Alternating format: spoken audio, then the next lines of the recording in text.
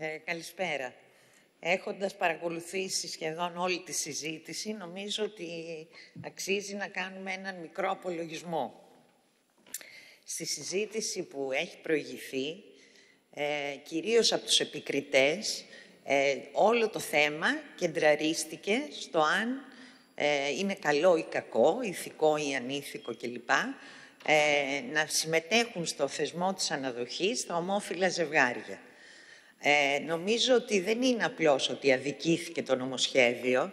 Νομίζω ότι για μια ακόμα φορά η Βουλή χρησιμοποιήθηκε ως μέσο για να διακηρύξει ο καθένας τις ηθικολογίες του και να υποκριθεί πόσο ευαίσθητος είναι, που ενδιαφέρεται για τα παιδιά, ποια παιδιά εντωμεταξύ, τα παιδιά που είναι στα ιδρύματα, τα οποία είμαι σίγουρη ότι κανένας από όσους μίλησαν δεν τα έχει επισκεφτεί ποτέ ούτε καν τα Χριστούγεννα, ότι δεν έχει πάει σε ένα ορφανοτροφείο, ότι δεν έχει πάει σε έναν οργανισμό που υιοθετούν παιδιά, ότι δεν έχει δει αυτό το δράμα που βιώνουν τα παιδιά από κοντά.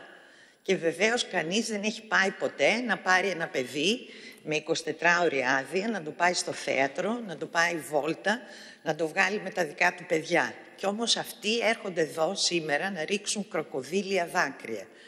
Τι συμβαίνει τελικά; Ποιοι είναι αυτοί οι αυτόκλητοι προστάτες των ανηλίκων προς αναδοχή; Ποιος τους κάλεσε; Από πού προκύπτει ότι υπάρχει κίνδυνος για αυτά τα παιδιά; Υπάρχουν, κύριοι και κυρίες μου, ένα σωρό μηχανισμοί και θεσμοί ελέγχου της αναδοχής. Υπάρχουν πρώτον οι φυσικοί γονείς, οι οποίοι έχουν τεράστια δικαιώματα να παρέμβουν οποιαδήποτε στιγμή, να ζητήσουν ανάκληση της αναδοχής, να ζητήσουν ε, αντικατάσταση, να ζητήσουν και να πάρουν πίσω τα παιδιά τους. Υπάρχει ο εισαγγελέας ανηλίκων, ο οποίος είναι κέρβερος για το τι συμβαίνει και ειδικά με αυτά τα παιδιά. Υπάρχουν οι κοινωνικοί λειτουργοί, οι οποίοι φροντίζουν και παρακολουθούν από κοντά και υποπτεύουν τις συνθήκες κάτω από τις οποίες ζουν τα ανήλικα. Υπάρχουν τόσοι άλλοι θεσμοί κοινωνικής προστασίας που μόνο τους βουλευτές δεν περιμέναμε εδώ να μας πούνε πόσο ενδιαφέρονται για αυτά τα παιδιά. Γιατί εδώ υποκρίνονται, κύριοι.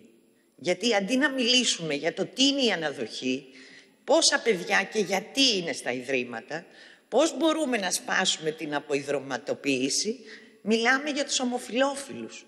Σήμερα τόσες ώρες δεν μπορώ να το πιστέψω. Δεν μπορώ να το πιστέψω.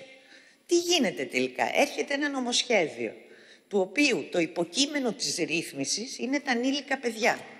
Και συζητάμε εδώ και έχουμε πέσει στη λούμπα και πολλοί από τη μεριά του ΣΥΡΙΖΑ στο να απαντάνε, σαν το υποκείμενο της ρύθμισης να είναι οι ομοφιλόφιλοι και τα δικαιώματά τους. Και κάνουμε μια συζήτηση. Λοιπόν, ποια είναι τα δικαιώματα των ομοφιλοφίλων, ποια είναι τα όρια, μπορούν να υιοθετήσουν, μπορούν να είναι ανάδοχοι, τι πρέπει να κάνουμε, η κοινωνία πώς να το αντιμετωπίσει κτλ. Ενώ το ζήτημα είναι αλλιώτικο. Τι είναι ο θεσμός της αναδοχής; Καταρχήν όσοι μας ακούνε, που δεν τα ξέρουν αυτά τα θέματα, θα νομίζουν ότι εισήχθη μόλις τώρα. Και όλοι ως πανικόβλητοι βγαίνουμε είτε να τον υπερασπιστούμε είτε να τον, τον κατακεραυνώσουμε αυτό το θεσμό. Ο θεσμός αυτός ισχύει χρόνια στην Ελλάδα.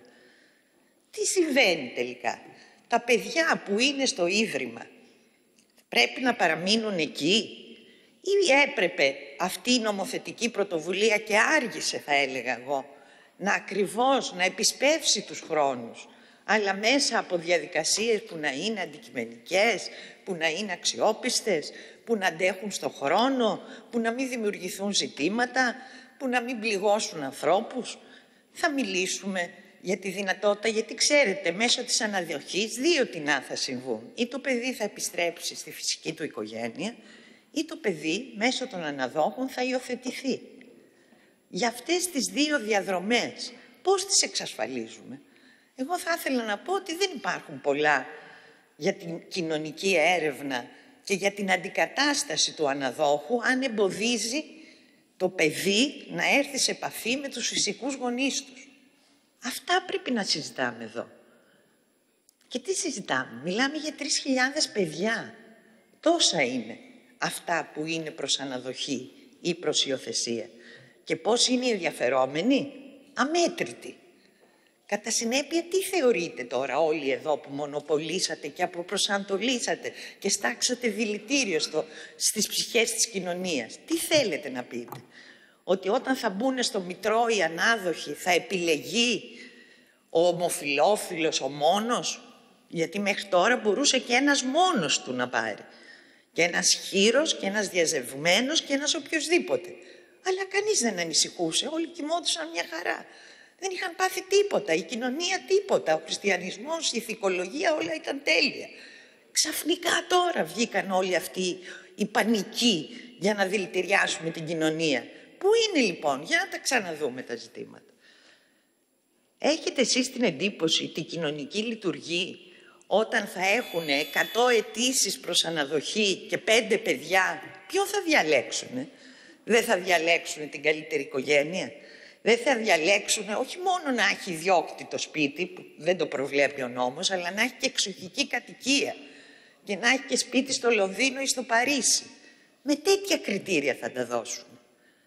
Με τα κριτήρια ότι ένα παιδί που έχει κακοποιηθεί και παραμεληθεί στα ιδρύματα και από τη φυσική του οικογένεια για διάφορους λόγους, πρέπει να τύχει αγάπης και στοργής.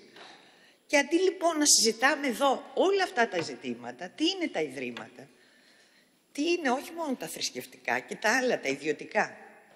Ξέρουμε από τα γυροκομεία, ξέρουμε τι είχε αποκαλυφθεί για τη στέγη παιδιών στον Πειραιά, τα ξέρουμε όλα.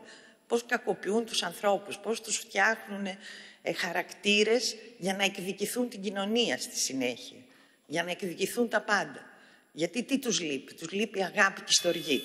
Και αυτό όταν υπάρχουν άνθρωποι που διεκδικούν να το διεκπαιρεώσουν και να το διαχειριστούν, δεν μπορούμε να τους γυρίζουμε την πλάτη. Άρα το ζήτημα εδώ δεν είναι αν οι ομοφιλόφιλοι ή οι ετερόφιλοι ή ποιοι θα πάρουν έναν ήλικο παιδί για να του δώσουν την αγάπη, αλλά πώς η κοινωνία θα είναι συμμέτοχη στο ζήτημα της κοινωνικής προστασίας των παιδιών. Είμαστε μια παιδοκεντρική κοινωνία, ειδικά η ελληνική κοινωνία. Λοιπόν, αυτά που κάνουμε στα παιδιά μας πρέπει να φροντίζουμε και να είμαστε ενεργοί, ώστε όλα τα παιδιά να απολαμβάνουν αυτών των δικαιωμάτων και αυτών των παροχών της αγάπης, της στοργής, της φροντίδας. Και κλείνοντας, ήθελα να πω ότι αυτό το ζήτημα ήταν και η συζήτηση που έχει προηγηθεί ήταν μια ακόμα χαμένη ευκαιρία για να συζητήσουμε για τα οξύτατα κοινωνικά προβλήματα που έχει η χώρα μας. Είμαστε κατώτεροι των περιστάσεων, γιατί αυτό που μας κινητοποιεί είναι η δυσιδαιμονία, η προκατάληψη, η πολιτική αντιδικία χωρίς λόγο. Επιτρέπετε, κύριοι συνάδελφοι και συναδέλφισες, να κάνουμε αντιδικία για την Τουρκία, για τα Σκόπια, για το ένα, για το μεταναστευτικό, για το άλλο. Όμως όταν έχει να κάνει με τα παιδιά και την προστασία τους, απαγορεύεται να είμαστε υποκριτές, να χύνουμε κροκοδίλια δάκρυα, προκειμένου να απευθυνθούμε σε ένα κροατήριο που φανταζόμαστε ότι υπάρχει, γιατί υποτιμάμε τον ελληνικό λαό, υποτιμάμε την ελληνική κοινωνία, η οποία ξέρει και καταλαβαίνει τι παίζεται κάθε φορά, προκειμένου να πάρουμε κανένα ψηφαλάκι αδιαφορώντας για τη δυστυχία που υπάρχει, για τον πόνο και των φυσικών γονέων που εγκαταλείπουν το παιδί τους και το παιδί που δεν έχει τους φυσικούς γονείς του και καθυστερεί εγκληματικά να βρεθεί σε μια οικογένεια για να ρουφήξει αγάπη. Σας ευχαριστώ πολύ. Ευχαριστώ κύριε